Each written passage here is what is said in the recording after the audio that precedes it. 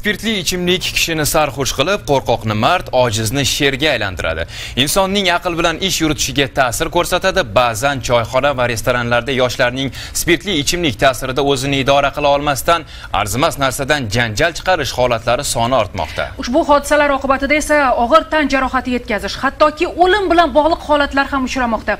Do'stlik tumanidagi choyxonada yuz bergan fojia ishtirokchisi 27 yoshli yigit. U 2019-yilda ozodlikdan mahrum etilib, shu yilning 25 may kuni sud tomonidan shartli ozod qilingan edi.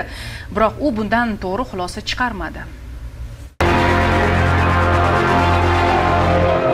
Ma'lum bo'lishicha, shu yilning 24-iyul kuni kunduzgi 4 lar atrofida Do'stlik tumanining Alisher Navoiy mahallasi hududida joylashgan choyxonada ikki xoranda o'rtasida nizo kelib chiqqan. Janjalda Arnasoy tumani Bo'ston mahallasida yashovchi fuqaro mast holatda Navro'z mahallasida istiqomat qiluvchi fuqaroning yuz qismiga bir marotaba urib tan jarohati yetkazgan va voqea joyidan yashiringan. Oqibatda jabrlanuvchi tuman tibbiyot birlashmasida ko'rsatilgan tibbiy muolajalarga qaramasdan vafot etgan. Marhumning o'limiga bosh miya jarohati, bosh miya qon quyilishi sabab bo'lgan. Ushbu jinoyatni sodir etib voqea joyidan qochib ketgan gumonlanuvchi xodimlarimiz tomonidan Samarqand viloyati hududida qo'lga olingan.